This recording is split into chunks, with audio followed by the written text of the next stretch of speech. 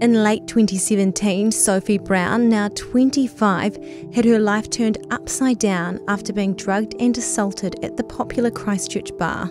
More than five years on, two men have been convicted after a trial centred around the drugging and sexual assaults of more than 20 women at the bar. The trial for the pair and another man began in February this year. The case took more than two months and spanned more than 130 witnesses, including victims, complainants, and their friends and family. Today, Brown, the first survivor to lift her automatic name suppression, is finally able to tell her story. Uh, just a warning before we get into this, we do reference sexual assault, abuse, and drugging. There was um I'd like vomited all at the end of my bed and my floor and like I couldn't remember for the life of me doing it. I was trying to think of like when did that happen, everything like that, and was trying to go, okay, I need to start searching in my head and like figure out, you know, when that happened. Also, why can't I remember the second half of the night and everything like that?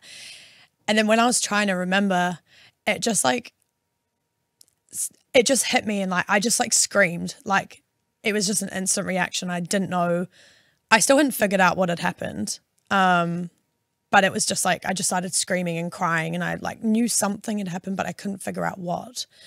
Um, and then that's when like little pieces of my memory started coming together. I was reading my phone, like texts from my friends from that night, trying to like trying to be like, where where did it all go wrong? Um, and yeah, that's when sort of just the memories started coming back to me, and everything about the situation has made me have issues with trusting people. I'll go from I've noticed like in in thinking and obviously talking to you a few times about it, I've noticed that I've gone from how do I explain this?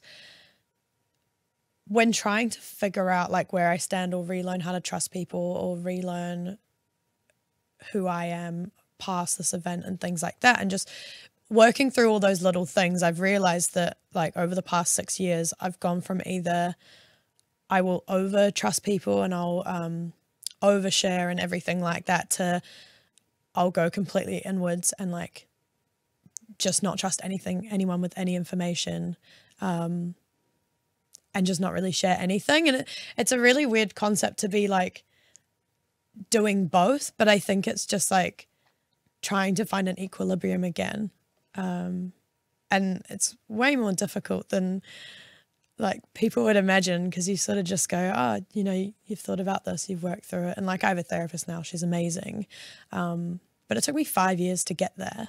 And that was five years where I was either a really fun person and like life of the party and probably a bit too loud, but having a good time to then like just this super depressed shell of a human that struggles to be in social situations and actually have meaningful connections with people.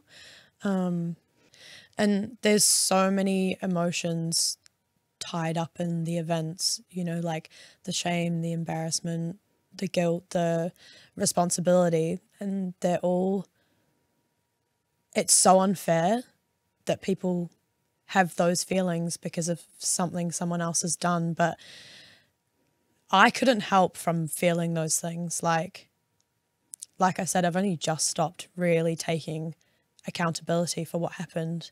Um, because it always plays on your mind, you know, oh, maybe if I hadn't had one drink. And like I said, I didn't find out till after court, which was February this year, um, that I actually was drugged. And that's sort of been the theme for me through my healing journey and through this process is little bouts of validation that what happened to me was wrong and illegal and that something was going to be done about it. And then it's not your fault. Yeah. And then it's not my fault.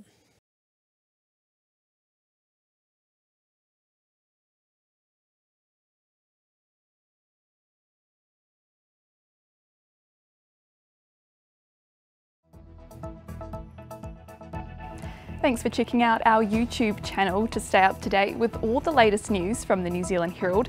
Click the subscribe button below or check out one of the videos here and head over to nzherald.co.nz for more details on these stories and more.